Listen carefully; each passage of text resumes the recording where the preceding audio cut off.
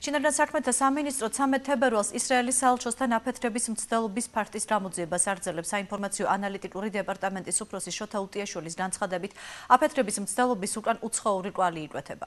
2011 წლის 13 თებერვალს საქართველოს ჩინეთთან საქმეთა სამინისტრომ საქართველოში ისრაელის საელჩოს მძღოლის ავტომობილში ასაფეთრებელი მოწყობილობა აღმოაჩინა და დროულად დააუნებელყო ამავე დღეს ინდოეთში ისრაელის საელჩოს თანამშრომლის ავტომობილში ასაფეთრებელი მოწყობილობა აფეთრდა რის შემდეგაც ერთ-ერთი დიპლომატის მეუღლე და დაიჭრა. მომხდარ 13 თებერვალს ვერ გამოეხმაურა ისრაელის პრემიერ-მინისტრი ბენიამინ ნეთანიაჰუ და თავდასხმების ორგანიზებაში მოძრაობა ჰესბოლა და ირანი დაადანაშაულა. ირანის სადარო საქმეთა წარმომადგენლებმა ისრაელის ბრალდებები უარყვეს.